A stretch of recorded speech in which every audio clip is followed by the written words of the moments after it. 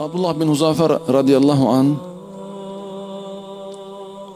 Rumlara esir düşmüştü. Kendi ve bazı askerler onunla birlikte Rumlara esir düşmüşlerdi.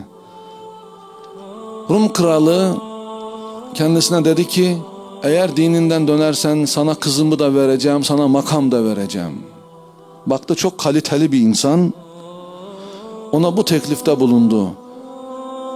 Her esire bu teklifte bulunmuyordu tabii ki. Ama ondaki kaliteyi görünce ona bu teklifte bulundu. O sahabi dedi ki vallahi dedi sen bana bütün dünyayı versen ve benden sadece göz açıp kapayana kadar bir saniye bile değil dinimden dönmemi istesen ben gene kabul etmezdim. Kalitesini ortaya koydu. Kral o zaman seni öldürürüm dedi. Sen bilirsin dedi sahabi. İstediğini yapabilirsin. Elinde esirim.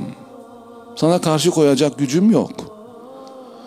Bunun üzerine kral asın bunu dedi. Çarmıha geldiler. Okçulara emretti. Dedi ki öyle güzel atın ki okları bunun tam böyle kenarından geçsin. Sanki vuramamışsınız, vurmak istiyormuşsunuz da vuramamışsınız gibi yapın. Elinin kenarından geçsin, ayağının kenarından geçsin, kafasının kenarından geçsin. Korksun yani. Korksun ve dönsün. Böyle yaptılar okçular. Zerre kadar kımıldamadı. İmanından dönmedi. Baktı ki böyle olmuyor. Kral dedi ki bir kazan getirin içine su koyun suyu kaynatın ateş yakın.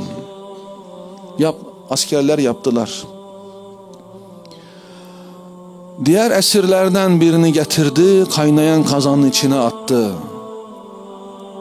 Ve öyle öyle hararetliydi ki su sadece kemik kalıyordu. içine atılan insanın kemiği kalıyordu.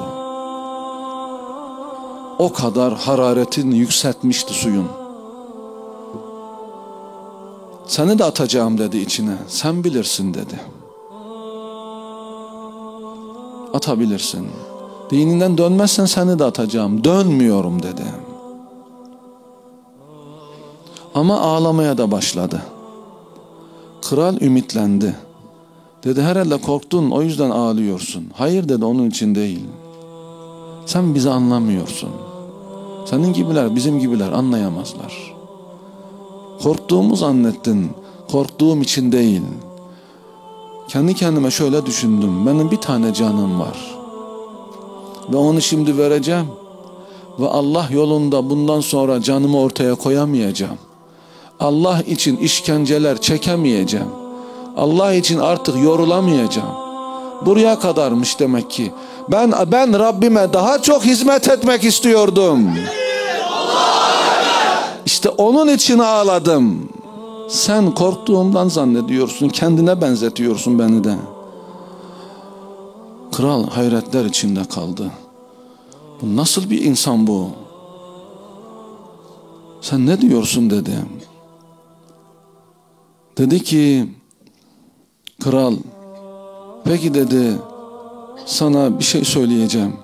Bari onu yap. Beni başımdan öp dedi.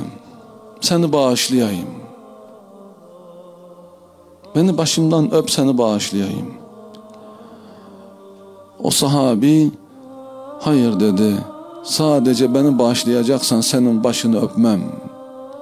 Bütün Müslüman kardeşlerimi hepsini bağışlayacaksan, bütün esirleri salı vereceksen, o zaman öperim senin başını. Şöyle düşündüm diyor sonra bu olayı anlatırken. Diyor ben bir adamın başını öpeceğim ve bütün Müslüman kardeşlerim kurtulacak. Onun için diyor kabul ettim. Ve kral tamam dedi.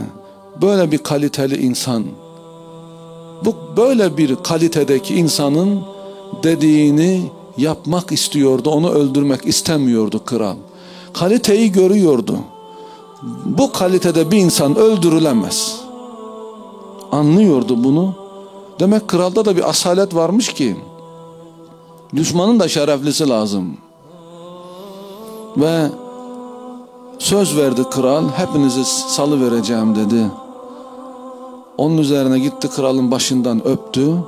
Hepsi serbest kaldılar ve gittiler Medine'ye Hazreti Ömer'in yanına. Hazreti Ömer olayı anlatıldı.